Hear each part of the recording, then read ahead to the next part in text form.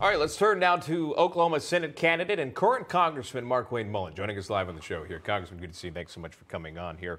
Uh, Thanks for having me on, Sean. Yeah, good to see you. Uh, big race today. Kilmeny uh, was, was laying out a few things in her report. Just your overall response to that.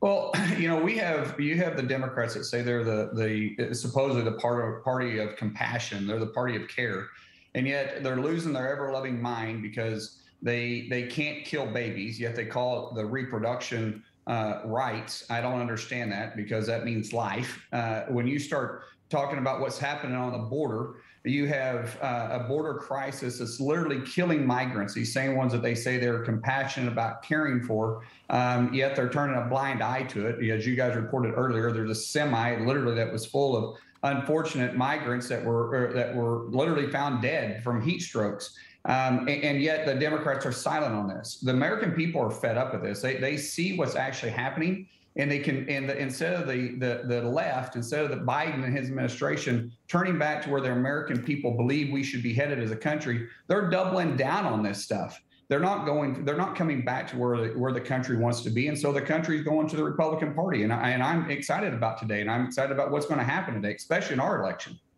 Yeah, and talking about what you just brought up there to your southern neighbor in Texas, in San Antonio, at least 46 migrants yeah. found dead in that uh, abandoned semi truck at 18 wheel. Yeah, it absolutely is. Uh, the mayor, in fact, called it a horrific human tragedy. The Texas governor blaming it uh, on solely on border policy. We've seen it attempts at death, is. but but this is the highest death count we've seen so far in one one instance there. It's reported that even the ones that survived inside of that trailer, the bodies were, were so hot to the touch they could barely do anything with them as the temperatures rose. Many suffered heat stroke, etc. Just talk to me about that when you see tragedies like that do you believe policy this should push policy I, I, many lawmakers well, we have to secure our border, Sean. And when you start looking about it, we know there's this huge national security risk. Unfortunately, we've seen the Democrats, they don't care about national security risk. If they cared about national security risk, then they would be also making sure we're energy independent and not relying on Saudi Arabia. So you can take national security risk and just set it to the side because that's just really not an issue. Because no one can argue that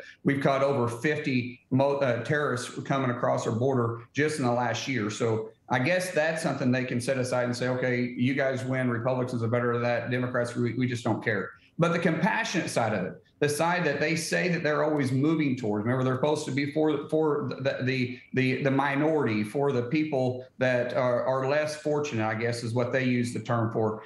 They have turned totally turned a blind eye there too. That's why the Hispanic vote has left them in waves because they know that the Democrats are nothing but a bunch of hot air. All they want to do is just say words and deliver on nothing because they have no policy to actually move forward. If we want to if we want to stem this pandemic of, of, of human trafficking and and and uh, uh, and drugs crossing our southern border, then we have to secure our border. You can't argue with that, but you can't argue with crazy too, and that's where the left just went. They went completely crazy when it comes to this, and they're just they're just completely ignoring it. I mean, you have Kamala Harris, who's supposed to be the border czar, which I hate you hate the word czar to begin with and she doesn't even go to the border. She doesn't even visit the border. She goes to El Paso and does a drive-by, but yet she's not actually involved in it. How they expect to fix it? Well, how about we go back to Trump's policies? That'll fix it. We we saw the lowest crossings in decade uh, when when we were instilling uh, tough border uh, uh, restrictions coming across our border and securing it. That, that's not that hard. Yeah, I it just uh, uh, again a horrific scene. You wonder how this administration will respond to this. Again, this happened. You don't believe so? Well, Sean, what are they going to do? They're going to they're going to give the border patrol more authority. They've taken authority away from the border patrol. The border patrol is trying to do their job.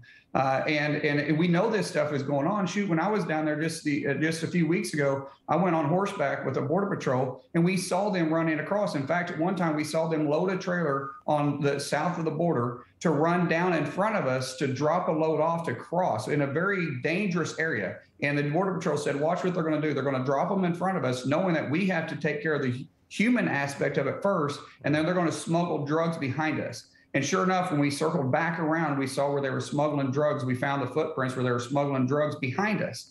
Uh, and so this is a cat and mouse game. They don't care about the human life. The smugglers, they don't care about the lives of these migrants. Um, uh, but all they want to do is make sure they get fentanyl across Decided on the state level by the people, not by the court in Washington, D.C. Yeah, absolutely. Families that were trying to find a better life where the migrants were coming from, uh, that still remains unknown.